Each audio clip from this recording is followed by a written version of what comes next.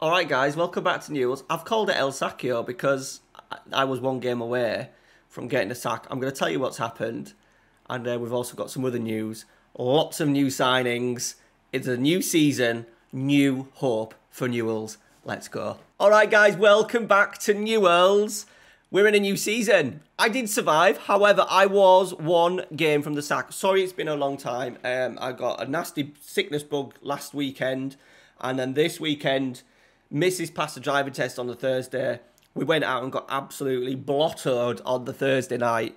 Literal, literally two day hangover, and just the longer you leave it, the less you get kind of the urge to record. So I've had to wait till Monday to get some records in. As you can see, we were in here right in here. And then at the last point, I think it was, you know what it was? It was here. Talleres game was El Sacchio. That's what they called it between us and Talleres. I won 3 0. So I survived. We then lost. By the way, I changed my tactic here. We were trying to go with three at the back with wide centre backs. It just didn't work. And I tried to give it, because I thought my job was safe, I tried to give it as long as possible. As you can see, I gave it some time. And a lot of these games, to be fair, we were playing quite well. We were playing quite well. It just we just didn't win games. We were obviously getting picked off a little bit. So I had to go back to basics. We've gone back. To, well, we're not gone back. I've done a new version of the Bielsa ball, which we'll talk about. There's a lot of new signings in there as well. No spoilers. River Plate, we lost at home 1 0. They scored. Nadalin got sent off for a foul and they scored in the 88th minute with a penalty. So we were unlucky. And then from that, board called us in. Results had to improve over the month. I then looked at the fit. Well, that's what I agree with them because of the first time of asking. It was the second meeting that I'd had with them. Um, and I kind of, first time I said, we'll be fine. We've got better games, we'll be fine. And then we weren't fine because we won like one in four or something or something like that. Yeah, I think it was after the Arsenal de Sarandi game. They called us in. They wanted better results for the end of the month. And then we racked up some good wins 2 1, two draws as well. And then we've been on a really good road to finish the season. So the season finished with us in 13th, bang where I think we were predicted to finish. As you can see, look, that was the opening stage. Closing stage, we were 16th. And then overall, 15th. So a little bit lower than what we should have done. However, I'm really confident. I think I have built a team, a squad that can get us into the Copa Libertadores again. We've made some fantastic transfers. Let's go and see. We've also got a game against River Plate, you know, today, the opening game of the season, which is pretty cool. League changes again. There's now only 22 in the league. There is an opening and closing stage, and the bottom four get relegated. Next season, it goes to the boring old. I'm gonna miss it. It goes down to the boring old Premier League 38 game season. But it's been fun. I so recommend you jumping into the Argentinian leagues because we're in 2025 and we've got different we've got once again different structures every single season for the league format. Right, you want to see just transfers, do you? Let's talk about who's left. Okay, so at the end of the season, on sort of like New Year's Eve, we let Aselmo go because he was wanting, you know, he was already on six grand a week. Barrios wanted to go. He didn't have a great spells with us. He had he scored some fantastic goals, but we've strengthened in there. He was on four four thousand three hundred. He wanted double. I said no. So our fee went, and then a couple of backups as well. Uh, Aguirre was one who's played a little bit for us. He's managed to get a club, so I'll keep my eye on him. He scored a really good goal, but wanted too much money. He was on 250 quid a week and wanted over like three grand a week. So I said no to that and are generally not good enough. And then Messi, Messi, Messi, Messi has gone. Uh, no relation to the real Messi, but wacky Messi has left. Um, Thomas Jacobs, the most disappointing one. He actually did all right for us in some of the games, but you know, 11 games, 6.99 average rating, back up, right back. Um, but was wanting to go on a free transfer mainly because I kept him in the reserves a little bit too long. And the rest are just backups that really, never really got their go. And then the noticeable outs, We've managed to get rid of Insua. He was on sort of like six grand a week, I think. So we've got him. He's gone 240 grand as well to uh, LAFC, which is a nice bit of business. We've we've really strengthened this season. So as you can see, there's a few in here.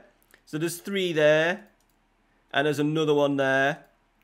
Other players to leave though, just to give us a little bit of. A couple have gone on loan. So Thomas Julian Fernandez is a really nice attacking midfielder. Enganche doesn't bode well for us, but He's gone out on loan, as has Thomas Greco. Really exciting winger look. Only 17 years old, but I've given him, he wanted to go out on loan. I've signed him to a new deal, and he wanted to go out on loan. I haven't signed him to a new deal. Shit. We're going to be over our wage budget again. Okay, we'll take that because he looks really exciting and could be really good for us next season, I think we'll call him up. And then Campagnaro, we've strengthened in there. He was our star player, our wonder kid for the future, and hasn't kicked on at all. Still rated four and a half star potential, but he's 21 now. We got 800 grand for him, so thought that was really good business. And then on in, some really exciting players. We've brought some players up from the youth team as well. First one in is Damian Fernandez, centre half. Probably going to be a little bit of a backup, but can play a little bit. He's got decent physicals, a bit average across the board, but we needed a little bit of strength in depth. We've tried to move a couple on, in particular there as well. Sorry, I've just forgot. There's a couple that we've moved on. Munoz, centre half, 30 odd years old. We got him 64 grand for him. So that really meant we just need an extra body in there. So that's why we've gone for Fernandez. Next one is Jonathan Sakira. And look at him. 19 years old. He didn't agree a contract with River and all the top clubs, literally the big boys in Spain, uh, Chelsea, Manchester United. And I went in, he wanted two grand.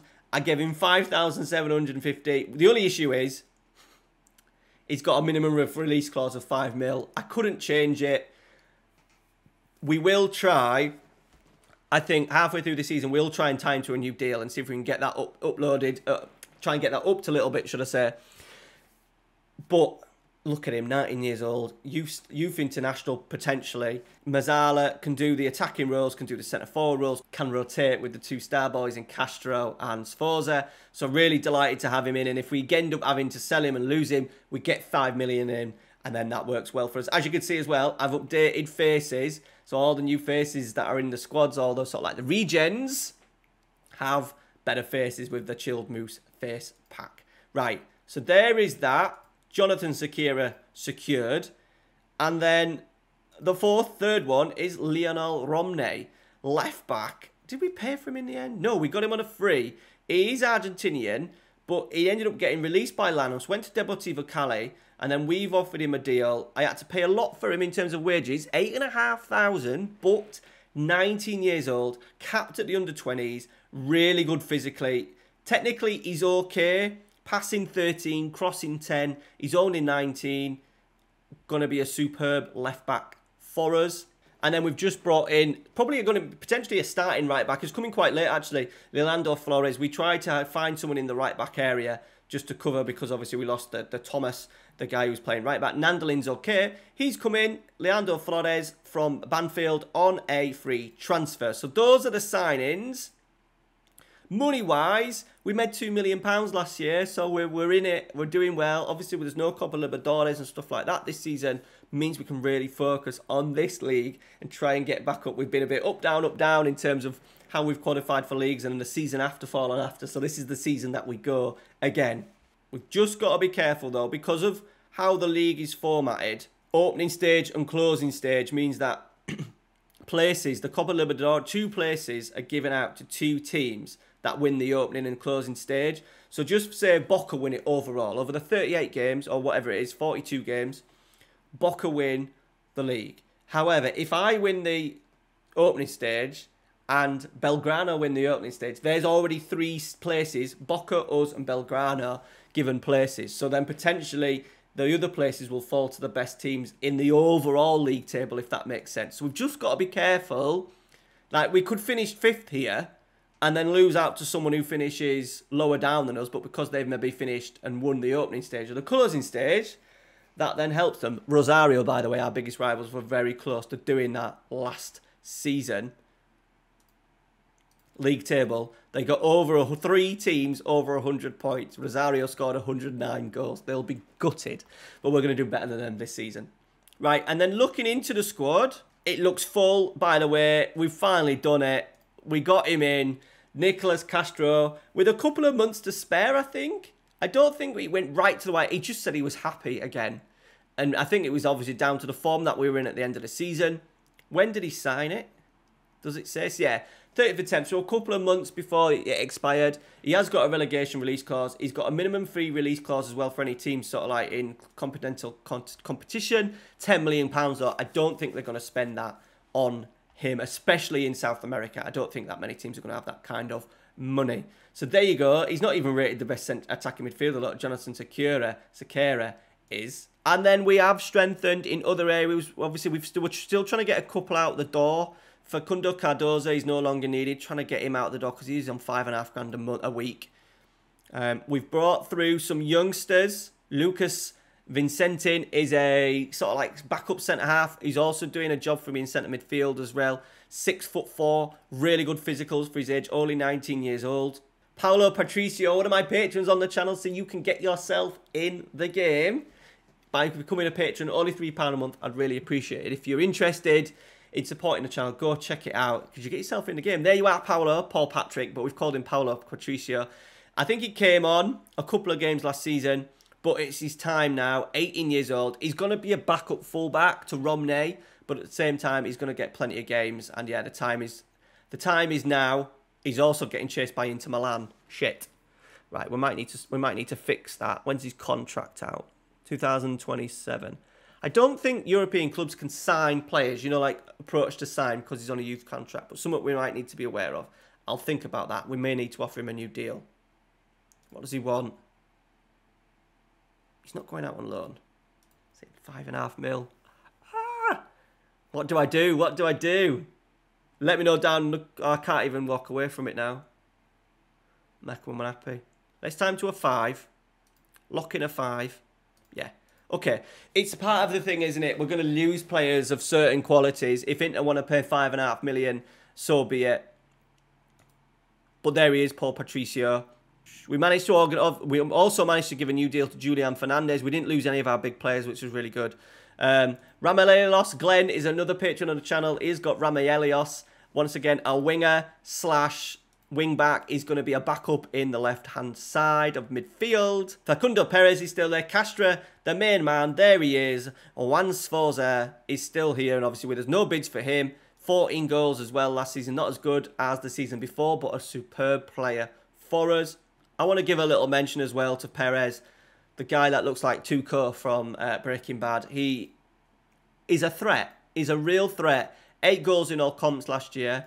Can play on the right side of midfield. Can do a job in the middle midfield. Really happy with him. We've also brought through a youth team player, Juan Bedogoni, who is only 16, but I like him. Stamina of 13, strength of 7, we're a little bit short in midfield. I want him to play as many sub appearances. I want him training with us. I don't want him going out on loan to like the third or fourth tier. As you can see, he's got a lot of work to do. But at the same time, I really want him just to give us a little bit of a little bit of backup in the squads. He can play some games. 20 minutes to go if we're winning or losing. I like to make as many changes as possible. Only three changes now though in the league though, which is a bit disappointing. So I'm trying to give him as much game time as possible. Sordo's stayed, Gonzalez stayed, Singioni is another one we give a new deal to. Celis. Celis has stayed. The youngster probably will get a little bit more game time as well this season. Alvaro Marin is going to be our main man, the main striker this year. 15 league goals last season. I want him to see a, little, few more than we want in the 20s from him. And then Tika is going to be a little bit of a backup. We've got Sforza, we've got Castro. That Sakira can play there as well. But I'm looking at playing Tika off the bench a little bit. Dribbling 14, finishing 14. Technique, work rate's okay. Strength of 4, not great. But has scored an absolute shit ton in pre-season. And in the reserves scored a crazy amount of goals as well. Does it tell you how many goals? Yeah, Last season, 18 goals in 19 starts. And he's done that regularly over the last couple of seasons. Okay, that is that. Tactically, we're just going with Bielsa ball with a winger on one side, an inverted winger, two wing backs on support, ball playing defenders. Um, it's the Bielsa ball tactic I've had for a while, but I've tweaked it a little bit. Double central midfield on attack, Marin leading the line, and that's what saved my job last season. All right, we've got River Plate. Let's get into it. Also, before we get into it as well, I have announced the competition winner, Paulinho, who commented in the first video, remember, I did a competition for a Newell shirt. You need to get in touch, buddy, ASAP. Um, for your newer shirt, you need to let me know your size. I did do that on the competition. Someone reminded me about it. Completely forgot about it. I have put it in the comments of the first video. I asked everyone for an Argentinian, their favourite Argentinian player. I everyone who commented, I just put them into a, a wheel, a randomizer, and Paulinho, you came out. So let me know, buddy, where you are in the world, what size you want, if you're still watching this series, and you get yourself a shirt. Right, it doesn't get as tough as today. It probably does. Boca are the champion, so I imagine Boca are going to be strong. However, River Plate are absolutely tremendous. We have got their hot prospect. Gallardo still in charge. We have still got their we have got their hot prospect though that we snapped from them, perched from them, which I'm absolutely buzzing about when that became a, a possibility. And we're going to play him today. We've had a really good preseason, by the way. We haven't played much. Couple of teams in around us. So, like, well, to be fair, we smashed Fenerbahce 6 0, which was always good. Right, couple of players are missing. Mancilla's disappointing. He signed a new deal as well because he was another one that may have left in the summer. Mancano has been with us all throughout. We're just going to go Nadalin to start with. Tried and tested. We're going to go, we're going to go with Mamana at right back. And Fernandez as the other centre half. The new signing. Romney at left back, even though he's probably our best centre half. I want him just to get at left back because we're kind of covered in the centre back areas. Half back, Fernandez is suspended, so we're going to go young today, boys. We're going to go with Vincentin playing as the half back. Right side midfield, this is what I like. It was another youngster, by the way. Forgot to show you. Ramirez.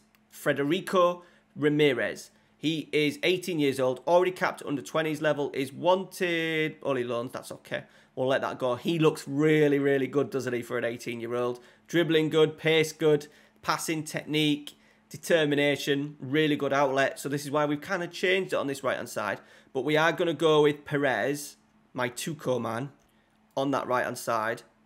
In the midfield, Sforza is injured, so we are going to go with Castro and Sakira. How long is Sforza out for? Couple of weeks. Mancilla's out, I think, for a couple of weeks as well, yeah. Inverted winger on this left-hand side. Now, this is the e this is the key where we've not if anything, we're at our weakest. It's on this left-hand side. Sakira can't play there. Castro and that, so we're always going to have to rotate Sakira, Castro and uh, Sforza. Um, we have got Christian Celis, who's a youngster, but I'm just going to go with Gonzalez, who's a little bit more tried and tested, a bit more of a, a, regular for us over the last few years. Got a very, he's not very good on his right foot, but he's really strong on his left. And then Marin is going to lead the line. There is an option to play Sordo as well on that left-hand side. We've got plenty of options, which is really good. But what I am trying to do is, Bergoni in centre midfield, I am trying to get as many youngsters on the bench as possible, just to give us a couple of players in there that are going to be really key for us. Maybe in terms of coming off the bench, changing the course of a game, and then the rest need to be made up of youngsters and giving them as much time as we can. And if we can maximise their playing time, they'll then get sucked in. You know, if teams like Inter Milan are coming in for certain players, Sakira is going to go at some point as well. There's no doubt about that. Right, here we go. I've bigged it up, boys. Let me know what you think to the transfers down in the description. Description, down in the comments, should I say. We owe River Plate from last time. We got done. Remember that one that nearly cost my job? 1-0 defeat. Nadalin gave away that penalty. They scored an 88th minute winner. Right, here we go. Nadalin, Perez, Nadalin, Cross. Sakira was there. Vincentin, the youngster. Sakira, just over. It's a good start. Two youngsters combining. Okay, Rome, Fernandez. Rome clips one down the line for Marin to chase. He's lot got there. We're going to get that back though. We do. Fernandez. Romeo will have another go. Both wing backs are on support, so I am asking him to get forward. We've got the defensive midfielder now as a half-back to kind of act as a back three a little bit, give us a little bit of protection, but we are going to win games today, uh, this season. Dominate possession, aggressive, Bielsa ball, and we're going to have some fun with it. Right, Mamana, Nadalin, Perez, Castro, Perez. That's a long ball. Gonzalez, Sakira, Marin. This will be a wonderful goal. It is a wonderful goal. Eddie to Matt is now going to put up the number of passes we had in that move. what a goal. This was a dodgy switch, by the way, but we got there. Gonzalez with a little layoff. Sakira layoff. One touch. Beautiful football. We are 1 0 up against River, and it is deserved. Perez with it. Headed cleared by Paredes. Perez. Fernandez. Fernandez, Vincentin, Perez. Marin is in again. It may be offside. It is offside. There's no VAR. Marin was just off. 56% of the ball against Rivers. Not bad, is it? Right, Nadalin. Fernandez. Rome. Just keep moving the ball. Keep moving the ball. Mamana. Castro. Vincentin. We've got plenty of games this season as well to give, you know, players like Ramirez, uh, other players that are youngsters that are just a little bit short. They'll get their turn. Marin. Perez. Nadalin. Sakira's in! Oh, big chance. Big chance against the team that he's just left. Oh dear, what a debut that would have been. He's already got himself an assist. We could deal with a goal from him, couldn't we? Oh, the goal stood! I'm losing my mind here. Am I losing my mind? I thought that was offside. He had his hand in the air. He had his hand in the air, did the linesman, when the, when the ball goes in. I'm pretty sure there's no VAR, you know. He put, I don't know what's happened there. Linesman's kept his flag down. The ref had his hand in the air. It's 2-0, boys. It's 2-0. oh, dear. That was weird. I just presume because there's no VAR. Is there VAR? I'm losing my head. No, I don't think there is VAR. No, because no VAR came up on the screen, did it? Okay. Right, well, we are 2-0 up, and I'm absolutely buzzing. And then, do we look at... I can always go attacking as well if we need to. Um, I don't find it's necessary. I'd rather us have a little bit more percentage on the ball and not be as gung-ho. That looked offside. That looked offside, linesman. So he's got his flag in there. What's going on here now? Defence are appealing for offside. Oh, there is VAR. Okay, I'm fucking losing my mind. Disallowed. We must have got... We Obviously, that was just a dodgy highlight from us. From that Marin second goal. Oh, carnage on the opening game of the season, boys. Right, we'll do some changes. Um, Castro struggled. So we are going to bring on... Uh, tell you what, let's bring Ramirez on on the right-hand side. Let's move Perez into the middle. And he can be a box-to-box -box for us. Yeah, I'm happy with that. And then Gonzalez, Ramelios. Ramelios. And then Ramelios on that left-hand side. Ramelios did get sent off last season. The fiery youngster. Don't let me down, Glenn. Right, seeing this out, boys. I'm just going to drop it onto defensive as well. Take less risks. I haven't changed the tempo, but it might just help us see the game out. It is going to see the game out. There we go, boys. We have absolutely bossed that. They have had that one highlight from the goal. Sorry, postman. They've had that one highlight from the goal. We started the season incredibly well. All right, guys. Um, this video is going out Tuesday. There's a chance there could be live stream of this on Saturday night. So make sure you subscribe to the channel. I will let people know on my communities page and in the Discord as well. Um, if not, there'll be a video uploaded on Sunday morning. All right, guys. Thanks for watching. Take care. See you later.